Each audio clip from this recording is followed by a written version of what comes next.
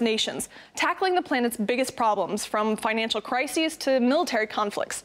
But it's also the G8 minus Russia, and it seems they just can't help talking about the member they kicked out.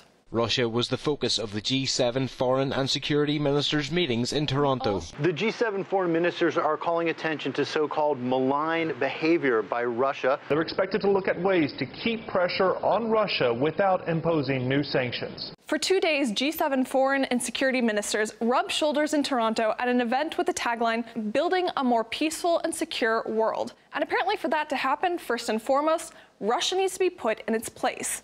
Then things like war and world hunger can be addressed, just like last year and the year before that, and so on.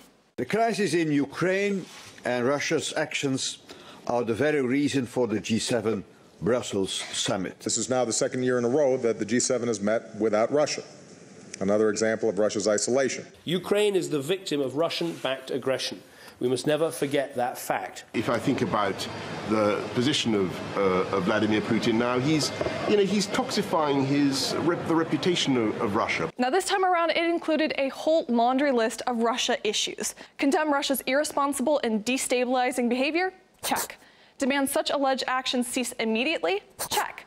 Agree that it is highly likely Moscow poisoned Sergei Skripal and his daughter, and that there's just no plausible alternative? Check.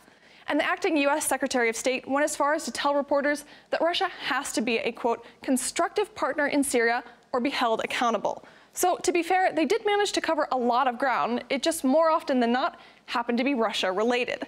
Let's just hope they can avoid getting too carried away with their plans. What we decided was that we were going to set up a G7 group that would look at Russian malign behavior in all its manifestations, whether it's cyber war, whether it's disinformation, assassination attempts, whatever it happens to be, and collectively try and call it out. And the hostility may not have reached its peak either. This meeting was perhaps just a preview of what we can expect when the leaders of the G7 countries